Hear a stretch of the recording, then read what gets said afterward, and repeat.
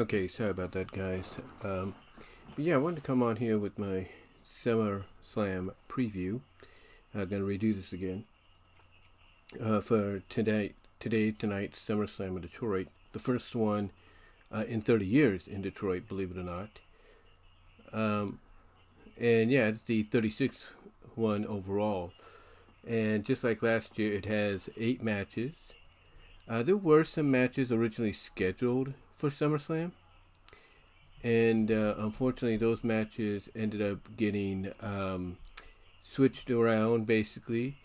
Um, I thought last night we were supposed to get Santos Escobar and Austin Theory for the U.S. title. Instead, that's going to be, I think, next week on SmackDown. I think that's what it's going to be. Uh, because originally, I think it was supposed to be on SummerSlam the match, but instead it's going to be on. It's going to be on the SmackDown after SummerSlam, and then of course um, Trish Stratus and Becky Lynch they were supposed to uh, be at SummerSlam. Uh, that got moved to about basically a week from this Monday, you know, in Winnipeg, uh, Manitoba. Uh, Winnipeg, Manitoba, in Canada, for that Raw edition. And um, basically, the reason for that is from what has been cited uh, by Fightful and PW Insider and other sources to be personal reasons. We don't know what the personal reason is, but that's why the matches were uh, moved, if you will. At least that match was moved. The uh, like I said, the U.S. title match was moved from um, basically was moved from SummerSlam to um, SmackDown. I'm assuming this upcoming week, or maybe even at Payback. We'll see, but probably be the SmackDown after SummerSlam. Um, what we do have instead is um, eight matches. The more recent match that got added was the SummerSlam Battle Royal, Slim Jim SummerSlam Battle Royal.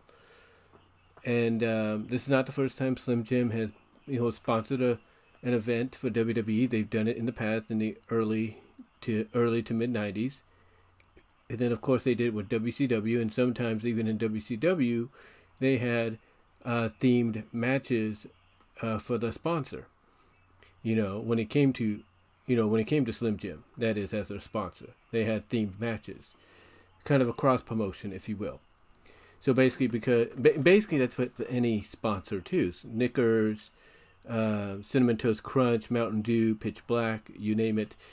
Uh, there's always a cross promotion with them to not only help as a as a bit of a thank you uh, to for sponsoring them, and also to kind of advertise the sponsor as well, if you will. Um, anyway, the matches they do have lined up are eight of them, and we're going to start off with the Slim Jim uh, SummerSlam Battle Royal. And the participants right now are LA Knight, Sheamus, Tommaso Ciampa, Shinsuke Nakamura, Otis, Chad Gable, Karrion Kross, Grayson Waller, Matt Riddle, Matt Riddle, Santos Escobar, AJ Styles, and The Miz. Now there are going to be other names added probably throughout the day tomorrow. So you can expect Bronson Reed in there. You can expect Johnny Gargano in there. You can expect Omos in there. Because, you know, if Vince is still, you know, working even at home when he should be, you know, basically not doing so because apparently he is uh, on medical leave, which means he shouldn't be doing anything, um, you know, of uh, work related at all. But if he is still kind of slipping in a few notes, emailing them, texting them, faxing them, to Bruce Pritchard and Triple H and all them to, to make this happen, then don't be surprised if Giant Omos is in there.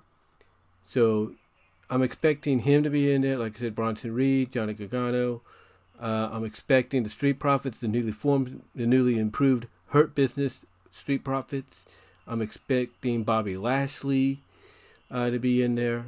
You know, so you're going to get some other names. You might even get some NXT names in there. I expect uh, if anything, you might get the Schism in there. Maybe Joe Gacy in there as an NXT name.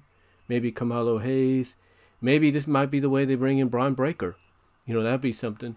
So, so yeah, you're gonna get more names than what is being advertised. But, you know, the question is who does WWE go with? And right now, it does seem like, according to various reports, that they're going to go with LA Knight.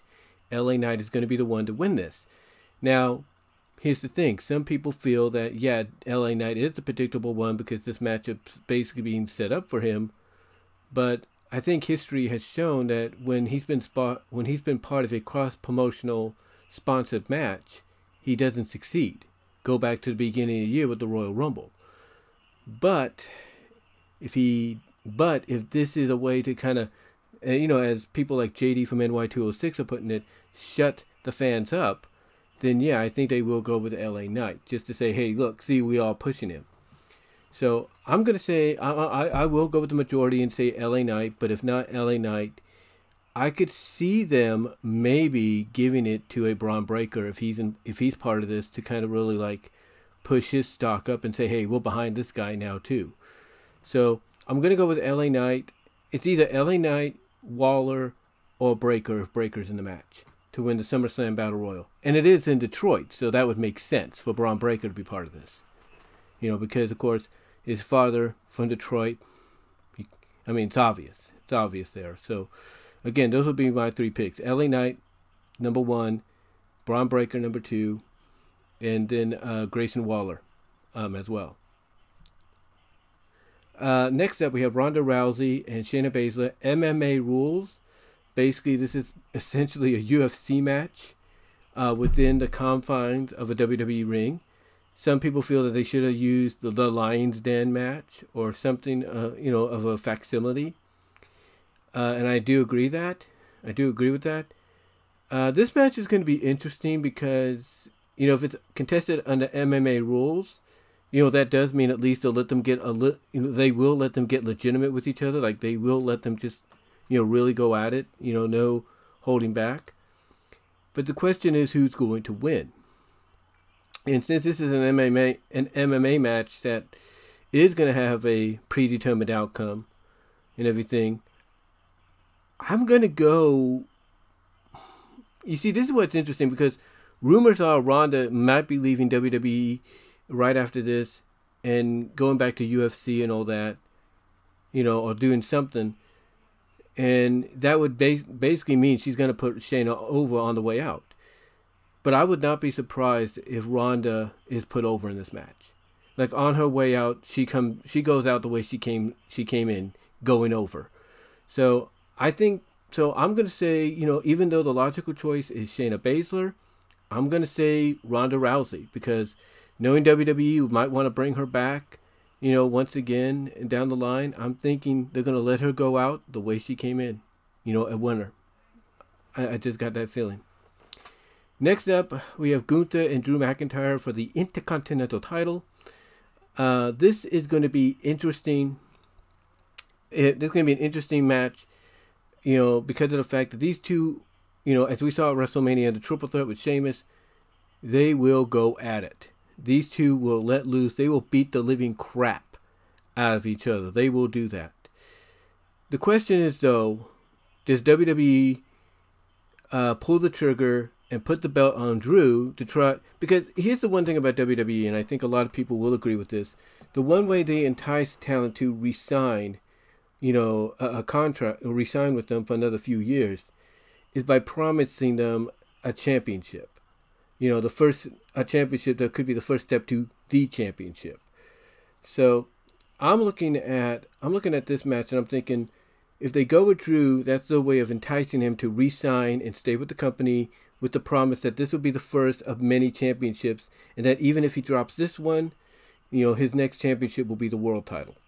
So, uh, so I'm thinking if they, so I'm thinking if they, you know, go with Drew going over Gunther, that means they have too much respect for Wayne Farris, uh, the Honky Tonk Man, and the record he sent as champion.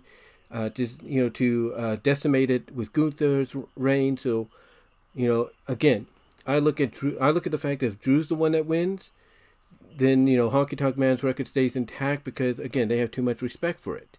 They have too much respect to say, hey, you know, we're not to, to say, hey, we're not going to let somebody, you know, uh, come in and break that record anytime soon. I mean, true, they let the New Day break Demolition's record as tag team champions, But you know, will they let you know Gunther break honky tonks? And I think that's where it kind of differs because they've had multiple opportunities to do that, but they never they've never pulled the trigger. So I think this time around, you know, th- it, this time around might be different, but we'll see.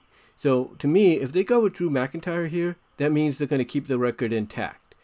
You know, Gunther is not going to be champion. They're going to keep the record intact. Gunther goes over, then the, the then the record's pretty much in jeopardy. There's no doubt about that. Uh, again, and also again, if Drew goes over, it isn't just because they want to uh, maintain the Honky Tonk Man's record and everything out of respect for him, but it's also because they're enticing Drew to resign with the company, stay with the company, and tell him this is the first of many championships you'll be winning here as part of the Raw brand and all that. So, so we'll we'll see where they go with this. You know, this kind of is a bit of a toss up and everything, but I'm gonna play it a little safe, and I'm gonna say Gunther. You know, I'm gonna say Gunther, if you will, uh, to win. I mean, if he does win against Drew, this would, might be the first time he wins with with us. I mean, he has won with some assistance at times, but it's mainly primarily always been clean. So I think Gunther winning here might be the only time he gets a help, you know, from Imperium if they are at ringside. So I'm gonna go with Gunther to retain, because I think you know if Triple H has anything any say in it, he's gonna want to see that record broken, especially by one of his guys. Now, next up, we have Ricochet and Logan Paul. This is going to be a spectacle. There's no doubt about that. Um, to me, you know, picking a winner here, you know, you would think it's obvious go with Logan Paul and everything because he's the bigger name. And that is true. But this is the biggest high profile um, program uh, that Ricochet has been in in WWE since he's been there. Let's be honest the biggest one so far. Uh, it's a singles match on a Big Four pay per view, you know, and it's got story behind it. The build has been great, and you don't do that for any. You don't just do that for anybody unless you feel that person is now ready to have a rocket ship strapped to him and launched straight to the top or close to it. So this match will be interesting. Uh, there is rumors that this is going to probably kick the show off. And the reason it would kick the show off is because Logan Paul has been petitioning to be the first match in, uh, or the, yeah, the first match in um, at SummerSlam. Basically, the first match to kick everything off, so that way he can, you know, afterwards, you know, you know, leave the uh, leave the stadium, get on a plane, and try to get to I think it was it Dallas, I believe, for his uh, brother's boxing match. You know, Jake Paul's match with Nate, D- Nate Diaz. So whatever the outcome's going to be, um, it will be, it, you know, whatever the outcome's going to be at the end. You know, he's going. If this is the first match, then he's going to have to book it real quickly to get on a air, on an airplane, a personal airplane to Dallas, you know, to see his brother, uh, to support his brother in his match. Um, so again, uh, so again, it's going to be interesting which direction they go in booking wise because if this goes on first, you know, who do they go with? Who do they who do they go with? Is is the question. So for me, you would think you would think logically you know, you would think logically logically they were going to go you know, or you think logically you know you know, you would think logically that they would go with Logan Paul because he's the big name. I was just checking something on my security camera. My mom is on the phone with my second oldest sister, so it gives me time to do this. This is actually the second attempt at doing this because that's just that I was starting the original, or the first one, that's when she called. Um, anyway, anyway, like I said, um, you would think um, logically Logan Paul is the bigger name. They'll go with him because he hasn't really won a singles match since last SummerSlam uh, against The Miz. But if this is Ricochet's time and they're finally going to strip, you know, strap the a rocket to him, or at least a small, you know, a medium-sized rocket to him, straight to the upper mid card. It's not lower main event card. Um, I would go with Ricochet, and especially with the fact that you're, you're bringing in his real life fiance Samantha Irvin into this uh, as well. Usually, historically, that means you're going to be booking that person to you know come off as a bigger deal, and everything. And I think honestly, I think honestly, you know, if that's the case, they got to go Ricochet. So for me, the logical choice, of course, would be Logan Paul, but I'm going to go with Ricochet. Just this is a long shot for me. I'm going to go Ricochet. Next match is the triple threat women's championship match between Asuka, that's A S U K A, you know, for YouTube to spell, um, Charlotte Flair, and Bianca Belair. This is interesting because this is pretty much like a dream.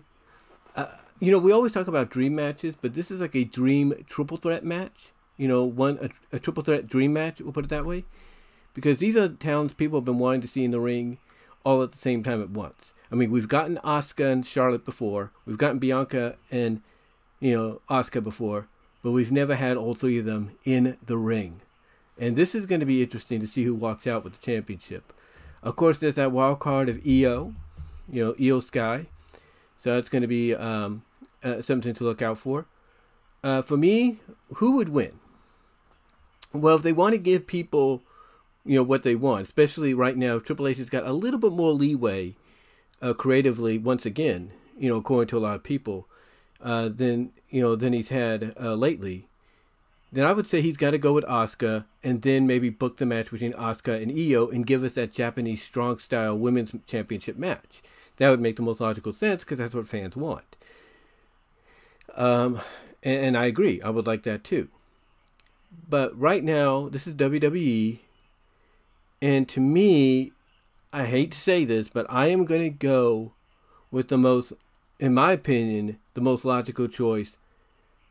I'm going to go with Woo! The Queen, Charlotte Flair, to win.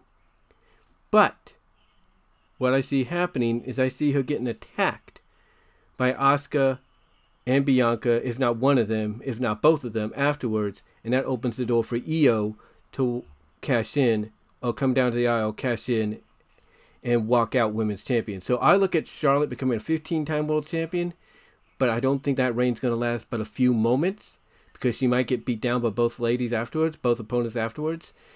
And then that's going to open the door for Io. So I see two new champions coming out of this. Charlotte first, winning the triple threat, and then because of cash in, Io. That's what I, that's how I see it probably going down. Next up, we have Cody Rhodes, Brock Lesnar in a singles match.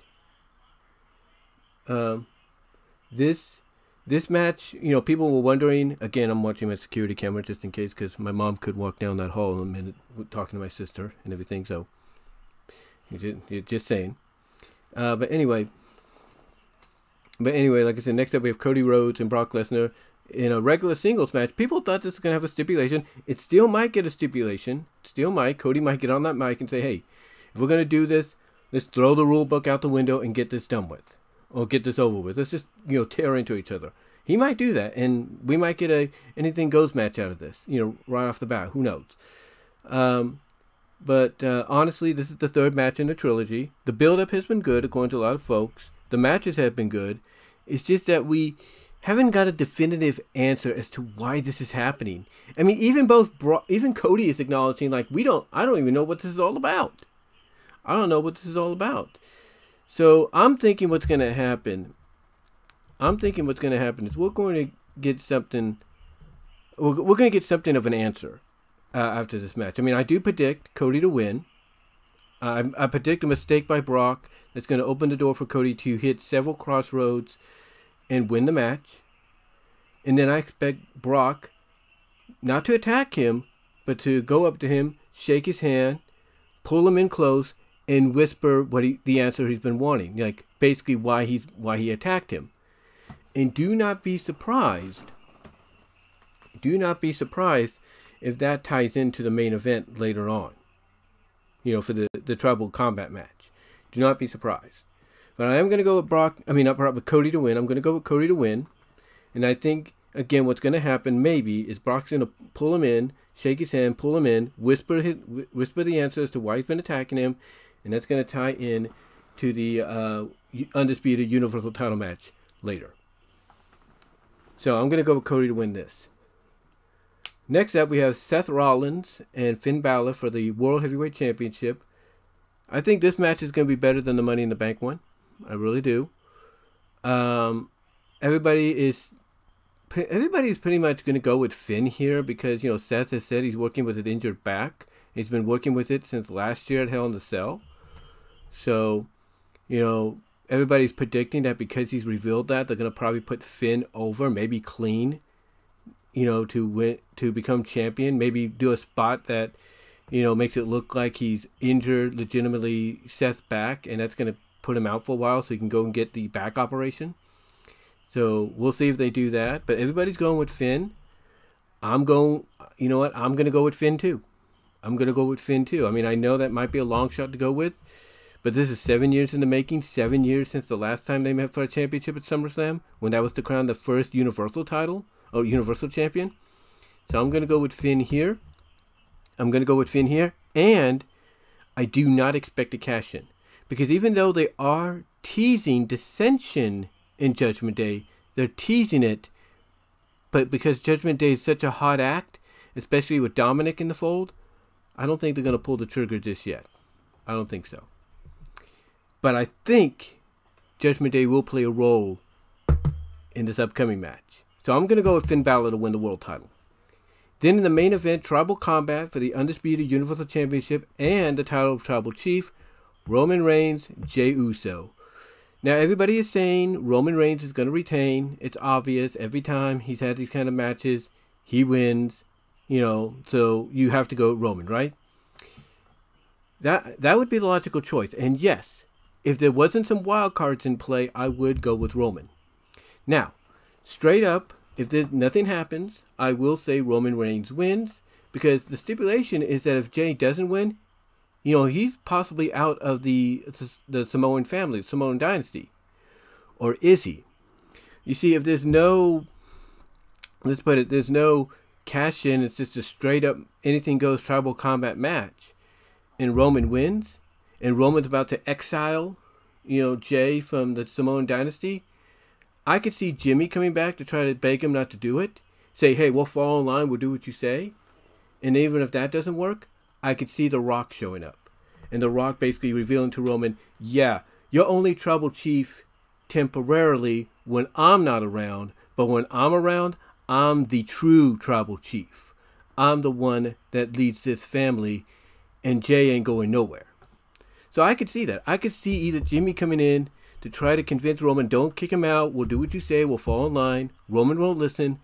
And then that's when The Rock shows up and The Rock basically reveals, hey, I'm the true tribal chief, not you. You're only tribal chief in my absence, but I'm back. And guess what? My decision is Jey stays, and that's final. And you can use that to tease to a potential Rock Roman uh, matchup down the line, especially depending on how long this actor strike goes on. So, um, so that could be something they do if it's straight up, if it's a straight up, you know, Roman winning. But I was listening, and a shout out here to We Are Pro Wrestling and J- and Just Alyx. I was listening to their uh, preview show yesterday, and you know they, and uh, it was during this uh, discussion of the main event, who was going to walk out as champion, that We Are Pro Wrestling brought up a scenario that even Alyx was like, "Oh, that's right, that could happen too." And what that scenario is, is he said we could get a moment where there's a double down or a situation that causes some kind of like mom- opening to occur where all of a sudden you hear Judgment Day's music hit and out comes Damian Priest and he ends up cashing in on Roman, inserting himself into the match and becoming Universal Champion.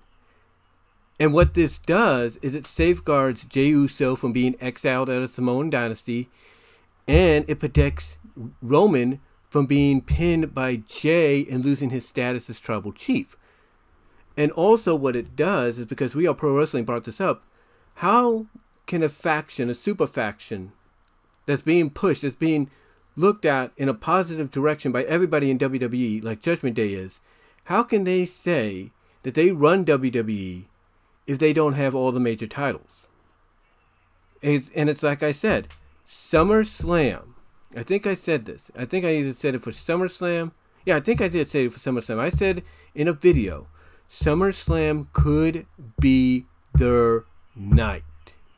It could be their night, a la Evolution 20, Evolution 2004. I think no, not 2004, 2003. Yeah, a la Evolution 2003. And why do you ask? Because at the end of the last pay per view in 2003, Armageddon, Evolution had all the titles. Randy Orton was Intercontinental Champion, Ric Flair and Batista had the tag titles, and Triple H had just won back the world title.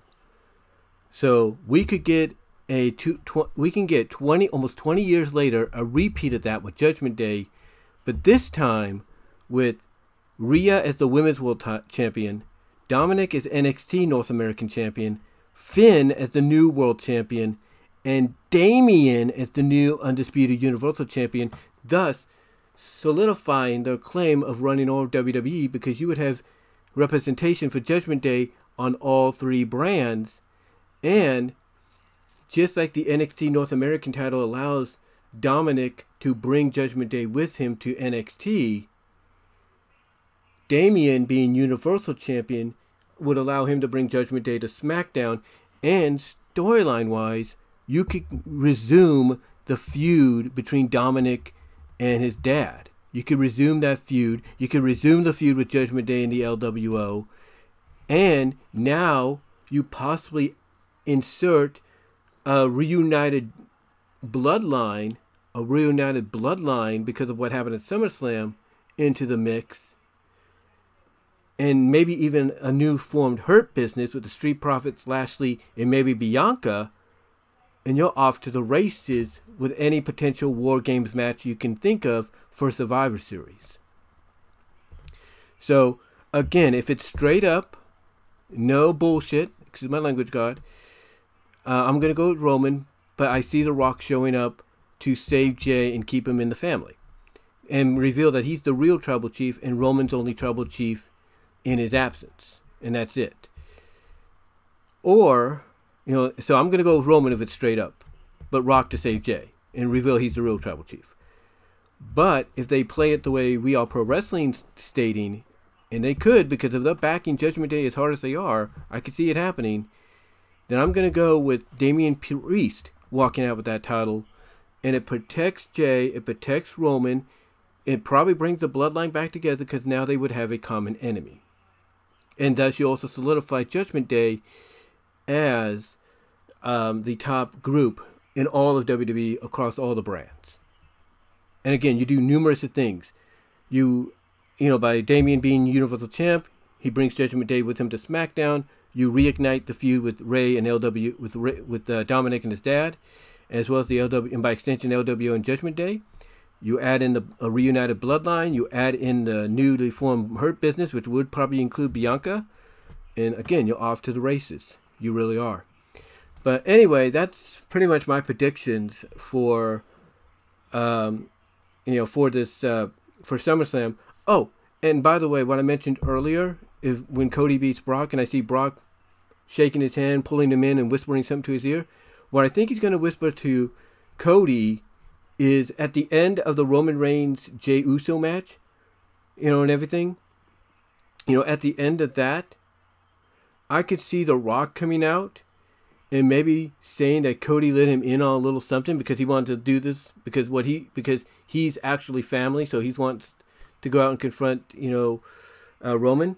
I could see Rock being Rock coming out and saying, "Yeah, Cody told me that little told me something that Brock told him earlier, or mentioned to me what Brock whispered to him earlier," and Rock, via Cody, could reveal that the reason Brock was attacking Cody was because was because of Paul Heyman. That's right. I could see it being revealed either by The Rock, maybe even Cody comes down um, to reveal it. We don't know, or it gets revealed later on, depending on the situation because I still see Jey being part of the family because Rock's going to save him no matter what. But I do see the revelation being revealed that, you know, Paul Heyman paid off Brock Lesnar or made a deal with Brock Lesnar that if he took out Cody Rhodes, that he would lift the ban on Brock Lesnar challenging for the Undisputed Universal title. I could see that.